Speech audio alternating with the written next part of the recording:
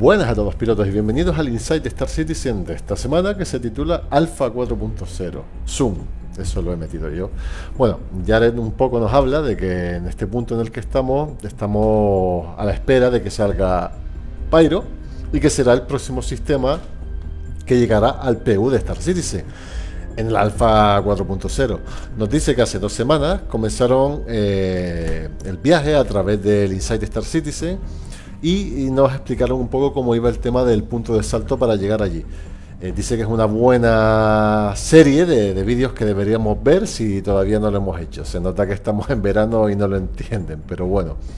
Pero está bastante bien que lo veáis, los tengo todos resumidos aquí en el canal. Se preguntan qué hay en el sistema Pyro una vez que lleguemos allí, a lo que nos explica que no solo va a haber caos y destrucción, que para empezar Casi todos los tipos de misiones y sistemas de juego que han desarrollado para Stanton también estarán allí. Esto significa que dará una vida a la carga, al salvamento, la minería y sobre todo el Bounty Hunter. Además, todo esto está más que listo para funcionar gracias a su tipo de desarrollo sistémico. Pero nos dice que esto es solo el comienzo, que también hay una serie de nuevos tipos de misiones y sistemas de juego y experiencias únicas que llegarán con Pyro en la Alpha 4.0 y que pasarán las próximas semanas discutiéndolo, comenzando esta semana con lo que hacemos en el espacio en particular. Nos hablan en primer parte de las estaciones espaciales. En Pyro dice que hay dos estaciones espaciales, una de ellas es la estación de salto a la que llega viniendo desde Stanton cuando llegas a la nube de gas no puedes ver todas las partes de la estación desde tu cabina, solo verás una parte y cuando te acerques verás lo grande que es en realidad. Son bastante más grandes y complejas que las de Stanton, con exteriores agresivos y puntiagudos, rollo fractal. Las estaciones espaciales pertenecen a diferentes facciones, por lo que verás la marca de muchas de ellas en algunas partes de las estaciones, incluso por los interiores. Nos habla de que la pandilla Road and Ready es uno de los principales operadores en el sistema Pyro y controla casi todas las paradas de descanso y estaciones de reabastecimiento. Nos habla un poco de la historia de Road and Ready, que es como una especie de clan, historia allí, de Daul Oscar y por allí. Nos dice que fue, es una pandilla que comenzó en 2939 cuando un ejecutor llamado Rook había tenido suficiente y se separó del resto de la pandilla principal en su propia pandilla, después de que el consejo gobernante de los Headhunters considerara sus planes demasiado arriesgados. Tomaron el símbolo de una conocida estación de reabastecimiento y lo transformaron en Road and Ready. Aunque están dispuestos a defender su territorio, no se involucran innecesariamente en conflictos.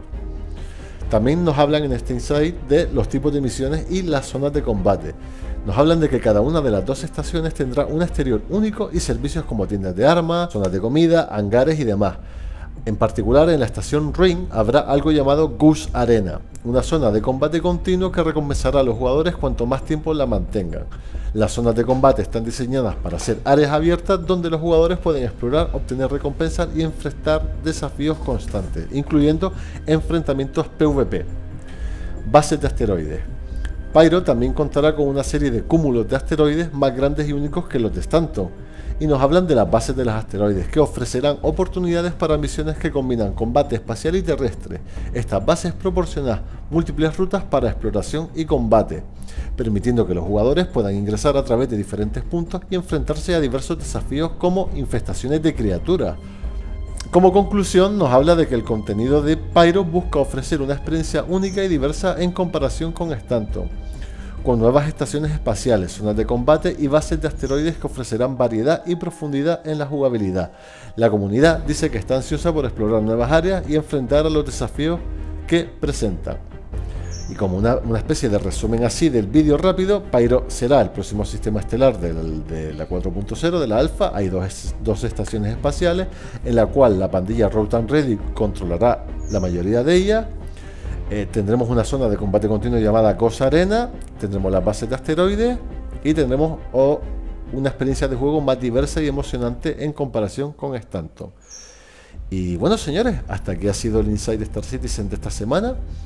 Ha estado interesante, la verdad. Todo está un poco mm, neutral en ese sentido porque porque bueno, estamos en veranito y estamos en plan descanso y demás, aunque yo por lo pronto sigo haciendo los insights hasta que toquen las, pertinentes vacaciones.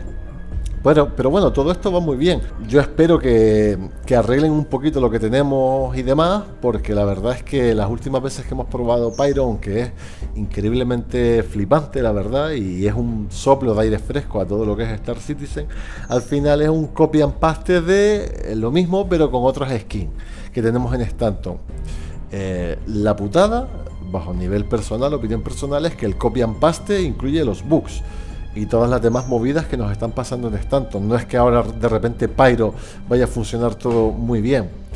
Y también es verdad que últimamente eh, resulta que hay menos gente jugando, con lo cual deberían de ir relativamente mejor los servidores, pero no para de salir gente nueva, novatos y demás que entran a jugar y que dicen que va eh, absolutamente peor, que hay un design increíble y que estamos a niveles de la 3.18 me he metido un rato a probar. Eh, es verdad que va un poco como el culo, pero yo no lo exageraría tanto, por lo menos en mi sesión de juego que ha durado una horita por ahí.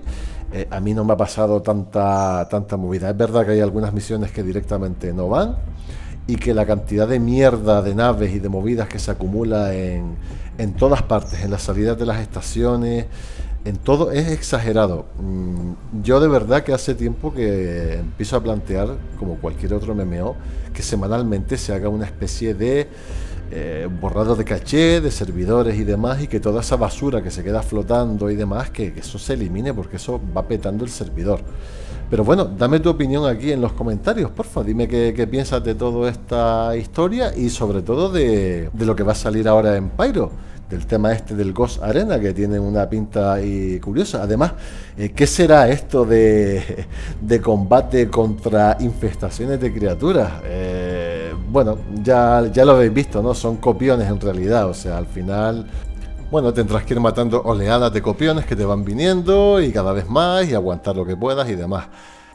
Y bueno, lo dicho chicos, hasta aquí el Inside de Star Citizen de esta semanita. Interesante, más pyro, más movidas y más bugs, ¿vale? Dejadme cualquier opinión que, tengáis aquí en los comentarios, que sabéis que me ayuda un montón, sobre todo para seguir haciendo estos resúmenes de noticias en estas épocas tan oscuras y convulsas del hate, con razón, pero con hate. Y bueno, también recordaros por favor que no hagáis stream sniping. Bueno, nosotros ya sabemos de lo que va el rollo, lo hemos hablado por el canal de Telegram de Punto de Salto, ya sabéis que si queréis un poco de salseíto y rollo, meteos por allí, ¿vale? Aunque seguramente ahora saldrá toda la peña haciendo 10.000 vídeos sobre lo que ha pasado con el tema del stream sniping ahora de nuevo. Pero si queréis un poco saber del tema, ya sabéis, ¿vale? Estamos por el Telegram y apuntaos por allí y nos echamos unas risas hablando por allí. Venga, señores, un abrazo, nos vemos, hasta ahora.